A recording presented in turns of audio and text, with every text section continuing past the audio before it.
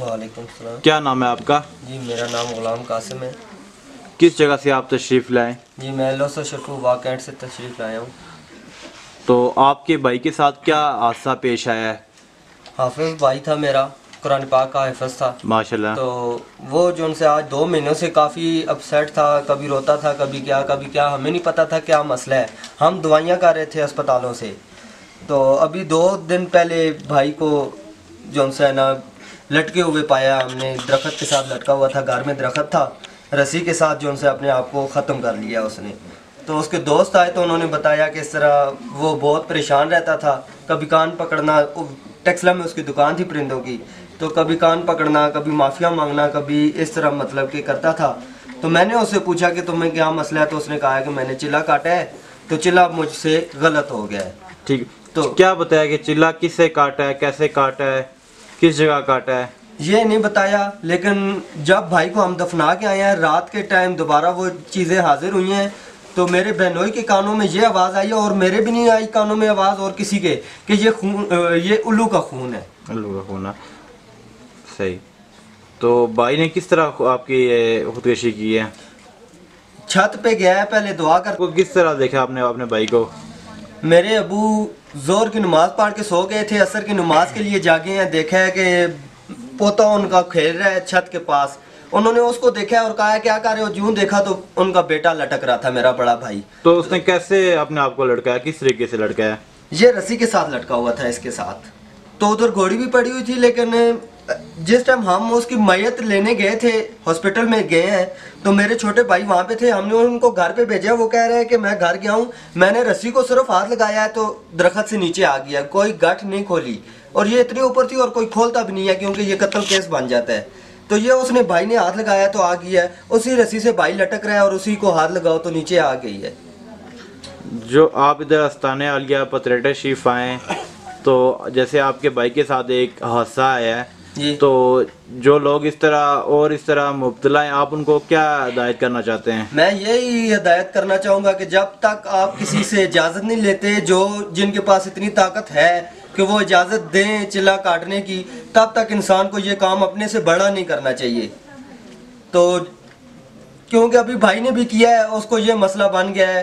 تو اس سے اچھا ہے کہ انسان پہلے کسی پیر سے فقیر سے مشورہ کرے ان سے اجازت لے اس کے بعد ہی ایسا قدم اٹھائے۔ یہ چھوٹا قدم نہیں ہوتا ہے بہت بڑا قدم ہے۔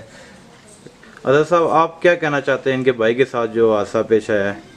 اعوذ باللہ من الشیطان الرجیم بسم اللہ الرحمن الرحیم۔ سب سے پہلے جس کی وجہ سے یہ ان کے اوپر یہ عمل ہوا ہے تو اس کے سلسلے میں میں تمام دنیا کو اہل محفل والوں کو یہ میسج دیتا ہوں۔ تو کتابیں ملتی ہیں۔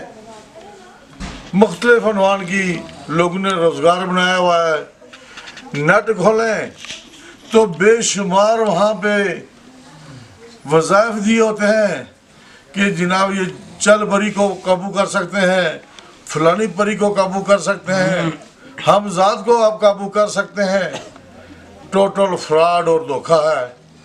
اور شوقین جو حضرات ہیں اہل شوق والے خالی وہ نیٹ پہ دیکھتے ہیں تو دیکھیے وہ وظائف اور عمل شروع کر دیتے ہیں۔ جس کا نتیجہ جس طرح ان کے قابل محترم بھائی تھے اللہ تعالیٰ ان کو جنت سی عطا کرے۔ حافظ قرآن تھے ان کے ساتھ حادثہ ہوا۔ اس طرح بے شمار اور لوگوں کے ساتھ بھی حادثے ہوتے ہیں ذہنی طور پہ مفلوج ہو جاتے ہیں۔ تو یہ جو علم ہے، روحانیت کا، یہ وہ علم ہے، ایک ذہین ترین انسان۔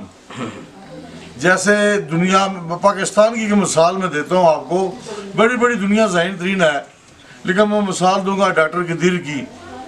بڑا ایک ذہین ترین انسان تھا، جس نے ایٹم بم بنا لیا۔ جہاں پہ ڈاکٹر قدیر کی سوچ فیل ہو گئی ہے وہاں سے روحانیت کی الف انار اور بے بکری شروع ہوتی ہے۔